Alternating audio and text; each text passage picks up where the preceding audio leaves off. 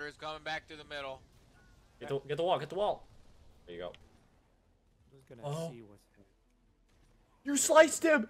You sliced him! You got him! No way! That Even... was the luckiest Woo! shit I've ever done!